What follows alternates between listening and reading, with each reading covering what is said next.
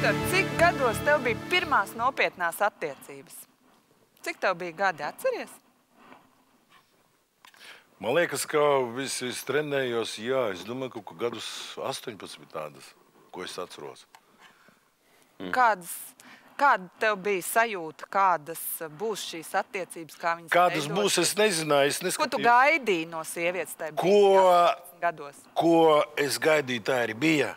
Es biju 20 gadu pu- puika, nebija izlutināts, kas, vienalga, kas notiktu, tas, bū, tas bija ļoti skaisti.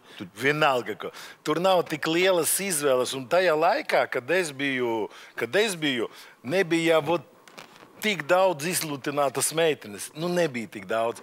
Un vienalga, tu uzdāvinās tādas puķītes vai uzliksi uz kafiju. Nu, vienalga, viņiem bija prieks ar tevīm. Tagad mums ir tā, tu iepazinās, nu, aizbrauksim uz kafejnīcu, ar ko tu.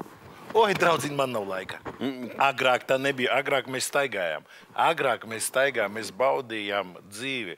Tagad mums dzīve ir tik ātra, ka, nu, ko aizbrauksim kafiju, tad mēs aizbraucam kafiju. Visu, mēs te Klausies, izvēlēties pieaugušas sievietes. Pamēģini. Mhm.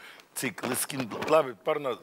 Kurai pašai, tāda, kurai Ne, pašai. pieauguša sieviete līdz nu, cik gadiem? Tas ir pieauguša sieviete, kad viņai pašai ir sava nauda, sava mašīna, sava māja. un Viņa pati Savi bērni, savais vīrs, tas trakuši. O, tu pamēģini. Negribu.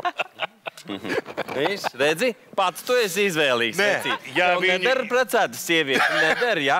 Varu pat, ne, zini, kā, zini, kāpēc es baidos no visas situācijas. Es visu laiku saku, "Ai, ja es trāpīšos, kā es jutīšos. Tāpēc man ir, man ir tāds princips, ja es zinu, ka sieviete ir precēta, un vēl, nedai boh, es zinu viņu. Mm -hmm.